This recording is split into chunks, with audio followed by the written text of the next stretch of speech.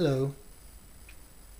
I'm going to do the unboxing of my new Asus R500 MS71. I'm going to find out if it's going to be able to run some of my games.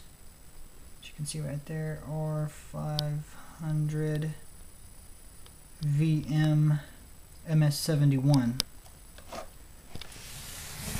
Here are some of the specs on this side here. Okay, let's see now. Let's open this seal here. What I'm going to hopefully find out is if it's going to be able to run Battlefield 3 and Counter-Strike Source and maybe some Grand Theft Auto 4.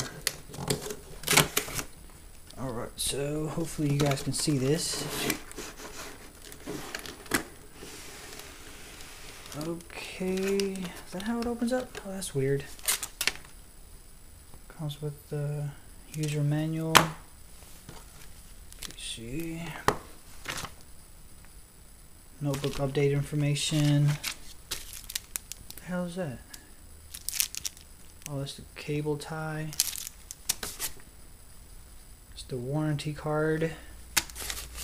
And see, I think we have the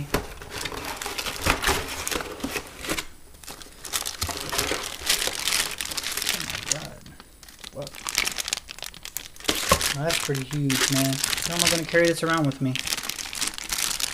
And what is this? I don't know what the hell it is. I'll find out, I guess. And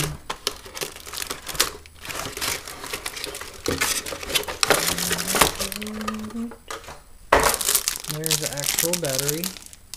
It's not too big, actually. It's not too bad that. And the actual laptop itself.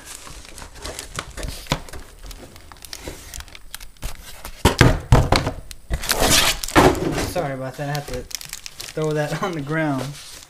I'm doing this with one hand. Let's see. Let's see what this baby looks like. It's a 15.6 inch screen. Oh, has a weird feel to it. It's like a plasticky feel on top. And right, there's a film on top. Has the third generation i7 NVIDIA GeForce GT 630M 2 gigabytes. Obviously Windows 7. Uh, something about the ice cool. I don't know what that means. And it's supposed to resume in seconds, and I think it's up to two seconds.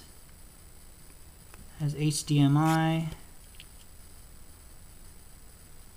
Let's see here. 8 gigabytes of RAM. 750 gigabytes of HDD. Windows 7 Premium. DVD and warranty for 12 months. And I went ahead and got the extended for, I think, an extra two years of accidental, um, accidental uh, damages.